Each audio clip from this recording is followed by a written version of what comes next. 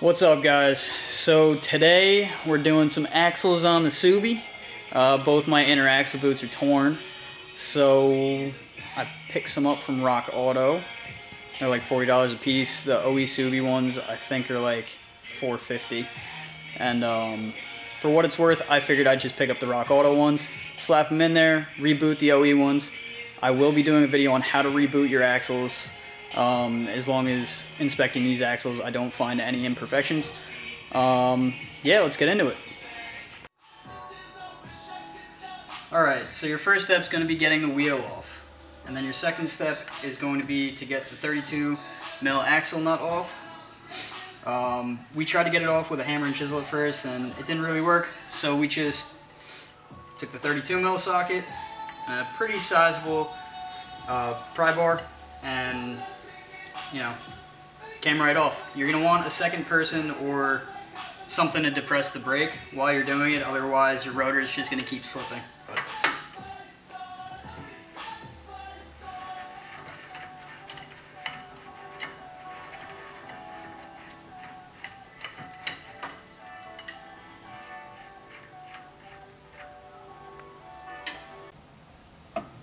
So these are just two 19s at least with the Raceland that we have on this. I know not the best coilover brand, but it's a daily. So you work with what you got. Alright, so once you get your top two bolts out,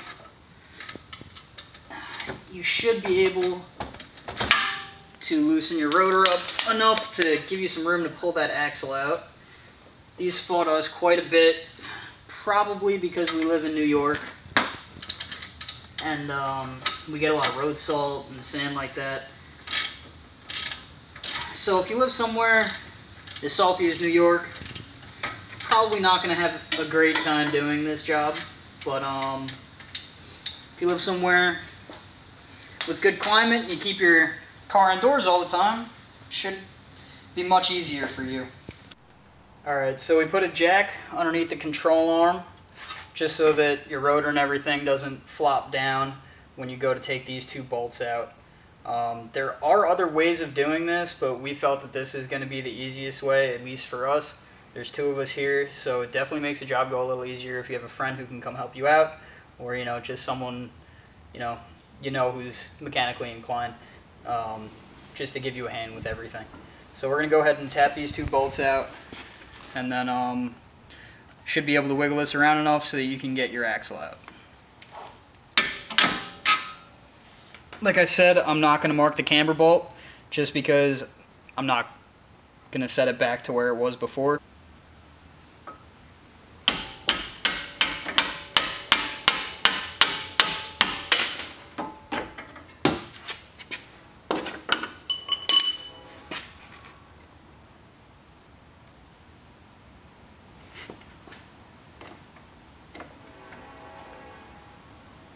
Set that down just a little lower.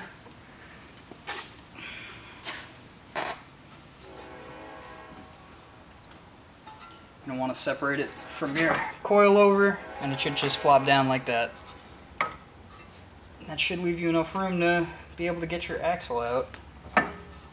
Okay, so after you fight with your axle to separate from your hub for about an hour and a half, um, you'll come to this conclusion where you have your axle nice and loose on this side, separated from the hub.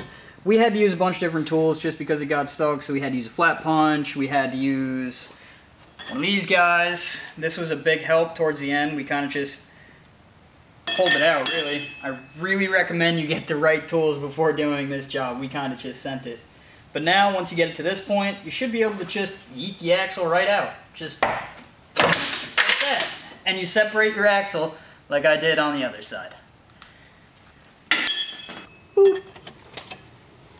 Put my other hand on that side of the axle, or what was axle, and there's the diff fluid that I was waiting for. Once you see the diff fluid, that probably means that it's loose enough for you to just grab by hand and take out.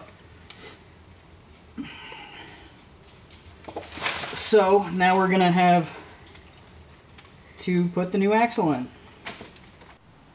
Alright, so when you're putting your new axle in, make sure that it goes all the way in. You'll kind of feel the teeth line up, and then you want to put the old axle nut on your new axle. Give it a couple taps in to make sure it's all the way in. Check to make sure it's flush. And then once you're all done with that, you can start trying to get your new axle into your hub.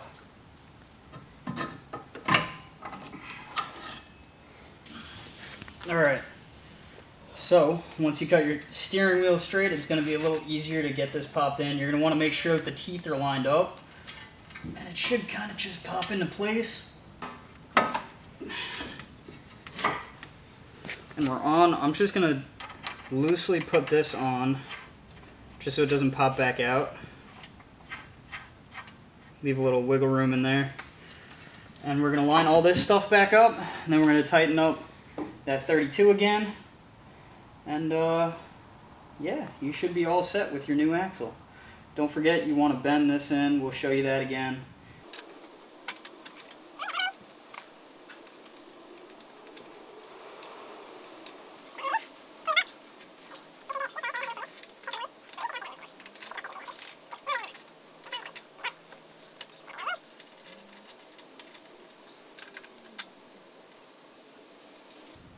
Send it.